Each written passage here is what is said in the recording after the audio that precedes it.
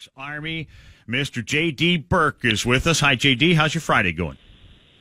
So far, so good. How about yours? It's going well. Botch is carrying me Yeah, through the I week. mean, I'm, I, I can carry you. carrying me through I'll the week, you. Mr. Botch. Thank you.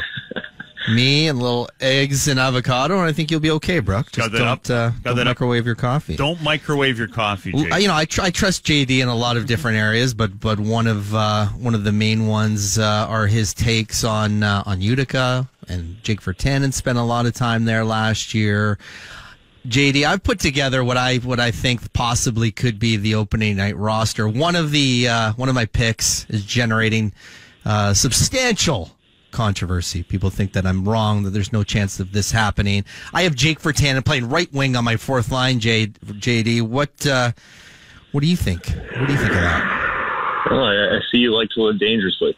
Um, You doubt me? You I'm- doubt Jake? yeah, I, I have some concerns about his readiness to play at the NHL level. I think a lot of the problems that forced him out of the Canucks lineup at the beginning of the season are still there. He's still somebody who struggles to, to process the game at a professional level. And and we noticed that last year. I mean, I think the biggest difference for Jake Virtanen from from this year to the year before was that the Canucks instituted a lot more structure. And then that requires being able to think the game, knowing your lanes, and where to go. And I think that's why he's struggling. Some of his underlying metrics reflected that. So I, I still worry about whether he's ready to make that jump yet. And I think the problem is if if you start him off on the fourth line and he gets off to a bad start, or he has another year like last year, you might create a situation where he becomes something of a write off, and you start hearing the bust word throwing thrown around. Well, we So- already we already hear that. I mean, Yeah, that, that- we're already there. true.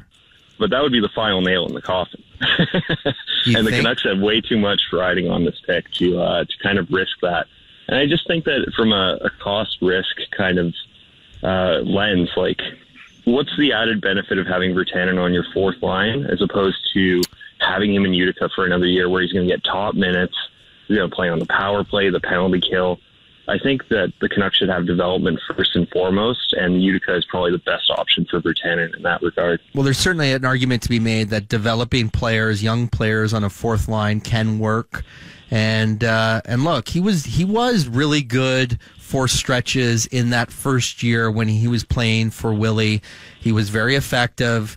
The problem that I that I had with him in Utica, watching, you know, I probably didn't watch as many games as you. I didn't see that physical Jake, right? Like I didn't see that Jake that's you know getting big hits uh, in and around the net. I didn't see a lot of rebound goals. The type of you know kind of power forwardy things that you would hope to see from someone like that. Uh, did you see it similarly? And and if so, why not? Like where where is that side of his game gone? Well, I, I think in general, there's kind of been, and, and the Canucks are in part responsible for this. I think people kind of have a misconception about what Jake Virtanen is. He's somebody who plays a physical game, but he's not what I would describe as a power forward.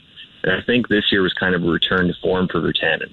When you watched him in his draft year at Calgary, he's somebody who was like, he's more of a bull rush kind of player, right? But he would never take the puck to the net. He would shoot from a lot of perimeter areas. And that was kind of part of the concern with his gaudy goal totals was like, how many of these goals are repeatable at the NHL level? And so I think he's somebody who can be physical. He can impose his will on players, but I don't see him as sort of a net front presence. I see him as somebody whose best asset is his shot. And, and I think when you have him in front of the net, you don't give him the opportunity to use his speed and his shot perhaps as much as you should with a player with his skill set. Okay, so you're out on Virtanen. Uh, another guy that's going to have a very difficult time making this team because of the numbers is Nikolai Goldobin. Turns 22 in October, and I say to you, JD, if not now, then when? Like, are you surprised at all that the team really had? There's no obvious spot for him in this lineup anytime soon. Yeah, I, I think that is kind of the problem with some of their free agency decisions is that it's kind of forced. It's kind of forced Goldobin to the peripheries of the lineup. I think he's somebody though who should get a shot. Like he he's cut his teeth at the AHL level. He's shown just about everything he can at that level, and and I agree with your sentiment that it's sort of it's now or never. I think there's a people have this idea of players when they reach their peak and it's in their late twenties. The reality is that players peak offensively closer to 24 or 25 right? So if he's somebody you can't even cut it at the NHL level in a secondary scoring role at 22, you start to really wonder, like, is he ever going to be able to do that? And I think the only way to find out is to give him reps.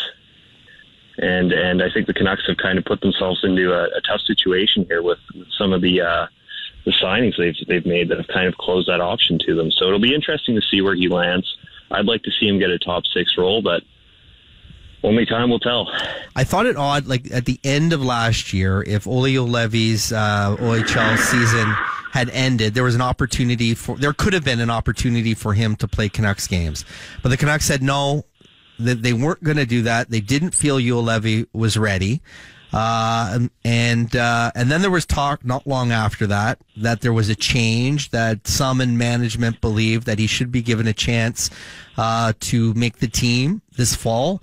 Uh, again, the numbers dictate, and the the veterans that they've brought in dictate that that is going to be very difficult. It's it's almost impossible. Like I don't really see a path even if he's great and impresses, I don't see a path for him to be in the lineup early in the season on opening night and beyond. And then he, you know, the, the choices are go back to Europe or uh, go back to London.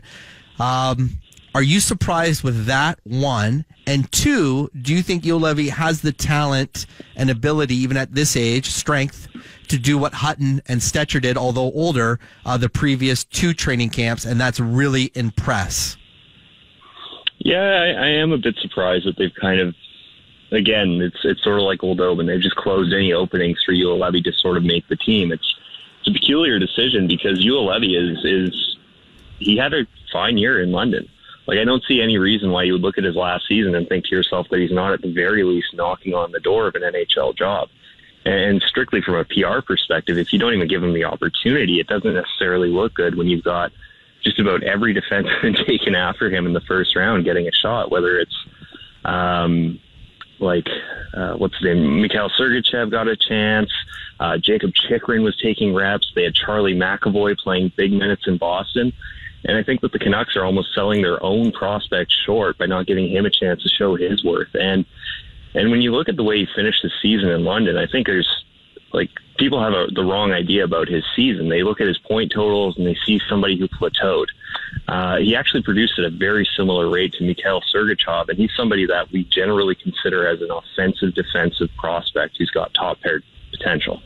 So there's no reason to look at his last year and think that he's not close to NHL ready at the very least.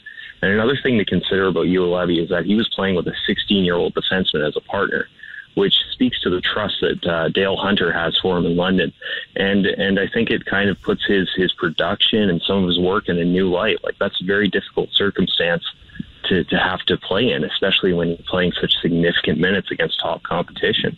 And based on my viewings, I thought he fared admirably. I really think that this is a player who should be in the Canucks opening night roster, but I just wonder if it works logistically.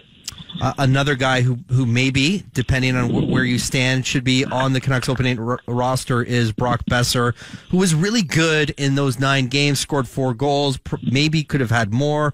Uh, can definitely be a threat uh, on the power play. Um, I if I were the Canucks, I'd have him playing with Baertschi and Horvat. Uh, but there is another factor. Like I think that spot is going to be, you know, I think you can put Goldobin maybe in that mix. Definitely Anton Rodin. I think Canucks Army was a big proponent of the idea of bringing Rodin back. I don't see a lot of upside in Rodin. I'd rather have Boeser do that. But do you think that they needed, you know, is that is that part of this that they needed Boeser insurance, and that's one reason to have Anton Rodin come back? Well, I, I've never really made that straight line connection, but the one point I would make about Rodin from from when they signed him for last season as opposed to this one is is what's really changed. I don't think anything has changed for Rodin. He had a knee injury, but he's still the same player that they wanted to pry from Sweden. And some of the reasons they wanted to pry him was because he was extremely productive. And if you run NHL equivalencies on his numbers, which is basically a way to look at his SHL production and frame it in the light of what he would do in the NHL based on that season, he's somebody who checks out is scoring at 40 to 50 points, somewhere in that range. So I think last year is just a write off. And I think he's still the same player that the Canucks wanted to get when they tried him from Sweden in the 2015 16 season. So I think it's worth it to give him another chance, and especially on such a low value deal. I mean, I just don't see there being any any risk here and, and a huge reward potential. Well, I would say one As- thing has changed. I mean that that it was serious knee surgery that he had to, to kind of try to uh, try to fix a chronic or you know problem that he had uh, a deficiency in his knee from birth. Uh, and something that kept him out for months. So, I mean, we don't yet know how if he's going to be the same guy that he was. That's that's fair, but I, I still think the upside is there. That that's kind of my my take on this is that there's enough upside to make him worth the one way contract risk. You- you've you've tracked Boeser. Uh, you know, a lot see him as the team's number one prospect. Do you see it that way? And do you think he's ready now to be playing NHL games regularly? You know, not for a couple weeks, but for a season. I think the uh, the addition of Elias Pettersson to the Canucks prospect pool kind of throws a wrench in that. I don't know if Boeser is Right. still the best prospect in their system, but he's still a he's a great player, and I think his his what was it nine games last season really showed some of what he's capable of. And you look at the way he produced goals, the way he helped drive play at even strength. He was doing all that with a wrist injury. Like his wrist was taped up something fierce, and I wonder what's he going to do when he has a full off season of health, right? Because all of last season he was nursing that wrist injury. It's what forced him to miss the World Juniors. So I look at a player who's just scratching the surface, and and again, Brock Boeser is somebody who, uh, if everything goes well, he should be in the Canucks opening night roster, and he's somebody who I think he can even make a difference. I don't think he's a project. I think he showed last season that he's ready to play and ready to contribute, and and especially on that Boeser, Horvat, and Baertschi line, I think they have something going there. And speaking of Bo Horvat, still remains unsigned. Obviously, the two sides uh, have been, you know, I think it's fair to say significantly far apart, and that's part of the reason the Canucks said after the year that it's something that they expect to take all uh, take most of the summer. After seeing some of the signings that we we experienced and saw in July, uh, does it change your view at all of what you think Horvat should be making, uh, specifically maybe on a six year deal? I, I think absolutely, and I think that one signing in particular that's kind of impacted the, the Horvat negotiations is, is Tyler Johnson. Tyler Johnson's older. Uh, if memory serves, I think he was arbitration eligible. He's somebody who has a, a history of scoring at a higher level than Horvat, has a better two-way impact than Horvat, and he settled for five million on a long-term deal that buys UFA years. So if you're the Canucks, you got to be sending Steve Yzerman some flowers because that deal sets a ceiling on what you can put on Horvat's contract. Because there's no way you can compare Bo Horvat to a Tyler Johnson. Certainly not at this juncture. Right. So I think with that in mind, the Canucks actually have a lot of leverage in this situation, and and it's it's interesting because the way RFA years work is that if they sign to a one or a two year deal, really it's kind of a continuous deal with team options, right? So it's not like he's not going to get security here. So I think what they might go for is probably a bridge contract. And and maybe they just keep qualifying him because it's it's really hard to get a read on what Horvat is. He's produced like a first line center, certainly last season. But if you want to look at some of the underlying data, he was one of the Canucks' worst defensive players, especially when you take into account shot quality metrics. He's somebody who is just it's contrary to his reputation from junior, has really struggled to help his team defensively at even strength.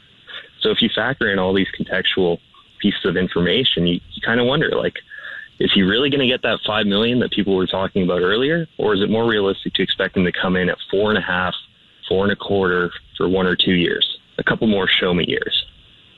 Have have they put him in situations to succeed? I, you know, considering quality of competition, like are there better ways to shelter him at evens?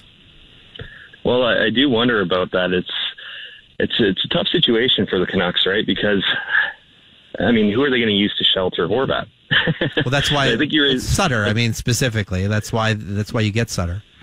Yeah, exactly. But then the problem is you have Sutter who's just getting, you know, he's not faring incredibly well at even strength. I think he controlled 43% of all unblocked shot attempts last year when the, when he was on the ice. That's how many the Canucks controlled. And if that's who you're using to protect Bo Horvat, then you're going to have significant issues at even strength. So, I mean, I, I think there's something to be said for the quality of competition Bo Horvat's faced and the impact that's had.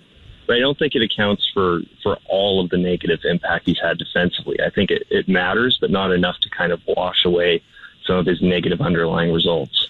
Jay, do you see another level next year? Maybe how high for Markus Granlund? You got 19 out of Granlund last year and certainly showed flashes. Uh, where do you see him going in the near future? I, I think Granlund did a lot to really convince me of his worth as a player last year, and he's somebody that I was very skeptical of. I mean, when when he came over from Calgary, it's it's not like he hadn't had the opportunity to produce. He, he had significant opportunities in Calgary, and then something just clicked last year in Vancouver. And it's not just his goal scoring, which was great. I think that he's somebody who's probably going to be right around the 19, 20 goal range, right? But I think what was most impressive to me was the impact he had on the Canucks' ability to control goals and shots at even strength. And that's the kind of thing that goes towards winning hockey games. His defensive game was among the best on the Canucks last year. And, and the further you deep, the more you realize that he really brought a lot to this team in terms of controlling the flow of play. Well, his brother was getting all the accolades, obviously, early in the year, and then by the end of the year, I'm thinking, well, you know what, Markus not maybe hidden out here in Vancouver to a degree, but uh, and the way he came on, certainly not not that he was uh, warranted great reviews earlier, but suddenly it looked like you might have some. yeah, you have something with him. Eriksson can't possibly be as bad offensively this year as last year, can he? And I, the Twins aren't getting any faster, but uh, there is there's some glimmers here. I would I would think, and Granlund's on the list. Yeah, and and getting back to your Eriksson point, Eriksson was just so unlucky last season. I mean, I remember one game the Canucks were playing against Nashville. I think he hit three posts. it was just like it was kind of a snapshot into his season. He's somebody who was starting to get chances, and then it, just for whatever reason he had a really down year. I, I think if you went into the the Eriksson contract thinking that the player he was in his last year in Boston is what you're getting, then you're mistaken. He's never going to be a 30 goal scorer again. It's uh, he just had a lucky year, and and last year he had a very unlucky year. And I would expect though that he bounces back to about 20 goals, 50 points, and continues to be a really strong defensive player for the Canucks. Like I, I'm not as worried as most are about about what he's going to be able to provide in the short term. I mean, that certainly doesn't necessarily certainly doesn't justify the contract, but I still think he's going to be a good player next year, and I'm not as concerned. Thanks, JD. Appreciate it, my friend. Uh, have a great weekend. Thanks for joining us here on a Friday morning. Uh, uh, very nice to talk to you, my friend. Yeah, no worries. Thanks for having me on. Thank you very much. The pride of the Canucks Army, that's JD Burke.